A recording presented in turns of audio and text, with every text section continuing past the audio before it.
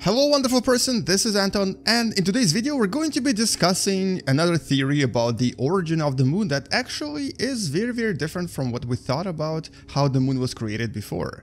If you still haven't subscribed to this channel, please click that subscribe button right now because there's so many more educational videos using video games coming in the future. Welcome to What Da Math.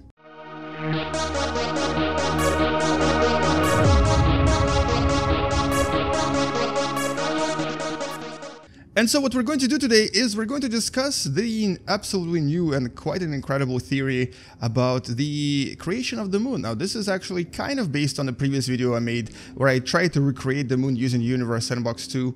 Uh, and I think I succeeded after a few tries, actually it took me like an hour. But in this video we're going to talk about this new theory that actually kind of puts a big axe on the old idea of the creation of the moon that's basically based on the following. So what we currently understand, or we currently did understand about the creation of the moon, is that we thought it was created because um, an object that's that was about size of Mars, but possibly composition of Mercury, kind of, uh, and this is the original Earth, kind of passed by right here on the corner and basically hit the Earth, uh, making it spin and um, throwing out a big sort of component of um, surface material and then that started orbiting around our planet and that created the moon. I kind of recreated this in Universe Sandbox 2. You can check out the video, of course, that's uh, appearing on the screen right now. But now we actually have a very different understanding. And this is actually based on a simple single paper um, from, I believe it's two researchers by the name of Kun Wang and Stein uh, Jacobsen. You can find their paper in the description below. And this is a, a paper that was published um, in, um, in Nature in 2016 and basically talks about something that we've discovered about the moon rocks. Now, because uh, in the 60s and the 70s we went to the moon and we brought back a lot of rocks, we can actually study them and we can analyze them. And so this is what these guys did. And what they discovered is that in these rocks, there was quite a lot of um, really interesting isotope of potassium. Potassium is one of the elements on, uh, on the chemical table, and um, this potassium seems to only really appear in cases of really, really, really high pressure and high temperature situations. In other words, if something that was just brushing against the moon like this, it would really create the moon that we know today. It would really create this really, really high pressure, high temperature potassium. And so what they actually realized is that there must have been some kind of a different type of collision. It must have been something that occurred almost exactly head on. Basically, um, a planet that may have actually uh, hit our planet Earth directly head on. And it very, very likely happened in this fashion. Boom. This is what they actually um, assumed that uh, that created this potassium because there was very little other explanation for it. There's really no reason why it should be in those uh, rocks that we got from the moon and there's actually quite a lot of it in them. And so in this video I decided to actually create the ideas that um, they proposed that kind of explain the creation of the moon and the potassium as well. So this is what they think happened. Let's go into the new simulation here. And we're going to put a proto-Earth right here in the middle, and we're going to launch an object at it. So it's a Mars-sized object, but it's actually very similar um, in composition to Mercury. So we're actually just going to launch Mercury um, at, at this planet, and we're going to launch it almost exactly in the middle. We're just going to launch it somewhere right here because uh, this will give us both the rotation that the Earth received from it and the spin as well. And now we're going to have Theia, which is the name of the planet that may have struck Earth, uh, approach Proto-Earth and hit it at a very, very slight angle. Basically, it's almost head-on. Very high impact, very high pressure, uh, lots of temperature will be produced, and this will be a huge impact. This will actually produce quite a lot of fragments and a huge explosion. And so according to these scientists, this is actually what happened. And right after this, basically, this essentially vaporized the surface of Earth. This vaporized um, the actual planet Theia.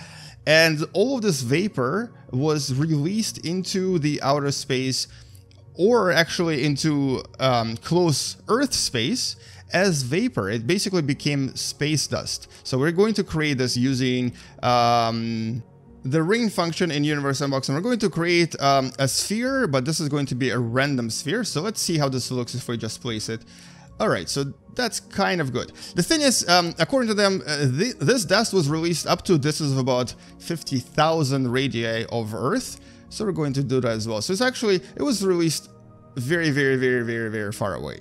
There's a, basically a huge dust cloud orbiting around our planet, um, and let's actually just place a bunch of them everywhere, just so that it kind of makes more sense. And so there we go. It looks a little bit more realistic now. So there's all these uh, dust clouds orbiting around our proto-Earth. Proto-Earth is still obviously very hot. And all of this dust, as you can see, it starts coalescing into a ring. So with time, after uh, years, after maybe thousands of years, this will basically start becoming a kind of a ring-like structure, very similar to basically rings of Saturn. But because um, our planet is more dense and more compact, it would not be able to maintain these rings, and these particles would eventually start coalescing into um, what would be a proto-moon. Basically, large chunks, large, rocks, large, you could call them asteroids, that would then uh, sort of slowly start becoming um, more massive.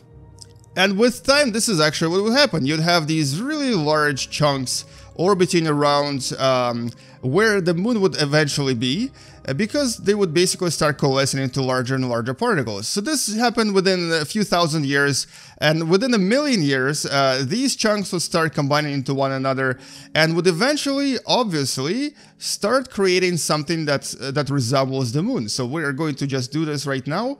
Uh, let's actually remove some of these particles because it's kind of slowing down my game and now we just have the moon particles orbiting around. And with time they would um, combine. And some of them might actually fly away into the outer system. They might actually disappear completely. Some of them might collide with one another. Some of them might even collide with, the, with their earth.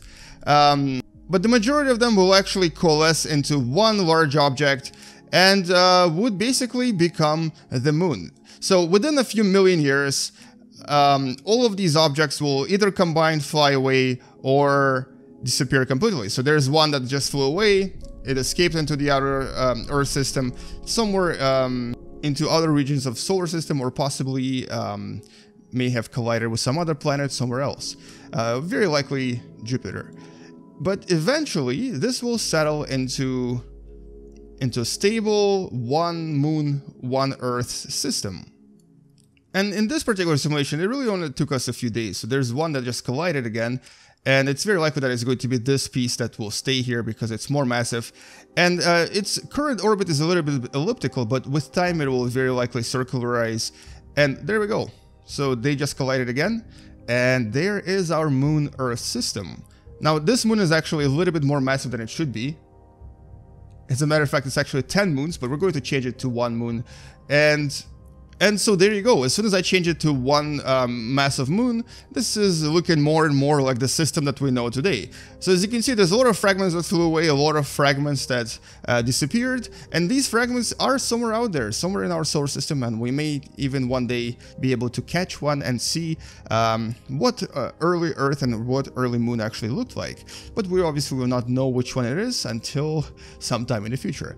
Uh, but essentially, this is what I wanted to show you in this video. I wanted to kind of recreate this new theory and I actually think it makes a lot of sense. It makes a lot more sense than just um, a collision just touching the surface of the Earth, because this would not explain the chemical composition of the moon rocks. But this particular simulation and this particular sort of theory, or I guess hypothesis, does show us uh, both the chemical composition and the fact that it's very possible for the moon to actually be created from nothing but the uh, space dust that orbits around our planet, that then sort of coalesces into bigger fragments, then into even bigger fragments, and then eventually becomes the moon itself. And so there you go. That's what happens. And if you actually wait a few thousand or few million years, we will eventually get a perfect Earth-Moon system. So there's our Earth, and there is our moon orbiting around it. Earth is maybe spinning a little bit too fast. That's because it had... Um, uh, the original spin was actually faster than it should have been. Uh, but uh, this is the beginning of Earth, and then it will just have to receive a few more asteroids and a few more comets uh, to receive all of the water that we, we have on it today. But the moon is essentially going to stay this way forever.